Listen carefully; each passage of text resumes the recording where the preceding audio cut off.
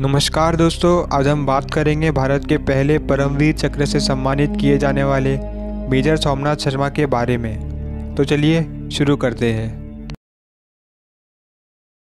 इस कहानी की शुरुआत होती है 31 जनवरी 1923 में, जब हिमाचल प्रदेश के कांगड़ा ज़िले में मेजर सोमनाथ शर्मा का जन्म हुआ।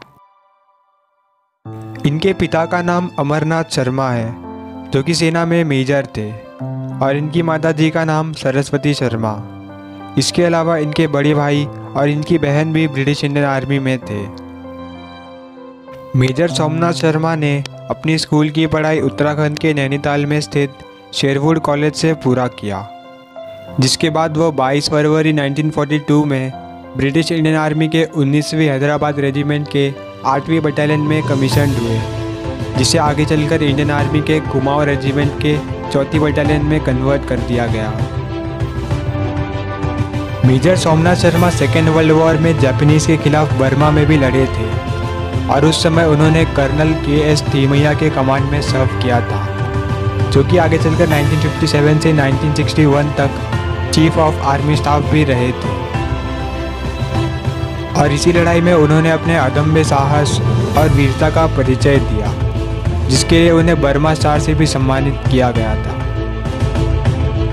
और फिर आज़ादी के बाद 22 अक्टूबर 1947 में कश्मीर को लेकर भारत पाकिस्तान का पहला युद्ध हुआ, जिसे फ़र्स्ट कश्मीर वॉर भी कहा जाता है। और इस लड़ाई में तैनात रहने के लिए मेजर सोमनाथ शर्मा के कुमाऊं रेजिमेंट के चौथी बटालियन को कमीशन किया गया। और आपको बता दें कि उस समय मेजर सोमनाथ शर्मा के लेफ़्ट हैंड पर प्लास्टर लगा हुआ था, क्योंकि कुछ समय हॉकी खेलते दौरान उन्हें कई चोटें आई थी। लेकिन इसके बावजूद भी मेजर सोमनाथ शर्मा ने असिस्ट किया कि वो कॉम्बैट में अपनी टीम के साथ ही रहेंगे। और 3 नवंबर को पेट्रोलिंग ड्यूटीज़ के लिए मेजर सोमनाथ शर्मा की टीम को बदगांव एरिया में डिप्लॉय किया गया। और वहाँ अपनी ड्यूटी देते समय वहाँ के एक लोकल घर से फायर आया। लेकिन मेजर सोमनाथ शर्मा के पास काउंटर फायर करने के लिए ऑर्डर्स नहीं थे। और ऐसा इसीलिए था कि कोई इनोसेंट सिविलियन ना मारा जाए। लेकिन तभी अचानक से करीब 700 के आसपास घुसपैठिए बदगांव में बढ़ने लगे। और फिर इन घुसपैठियों ने मेजर सोमनाथ शर्मा की पूरी टीम को चारों तरफ़ से घेर लिया और उन पर हैवी फायरिंग शुरू कर दिया।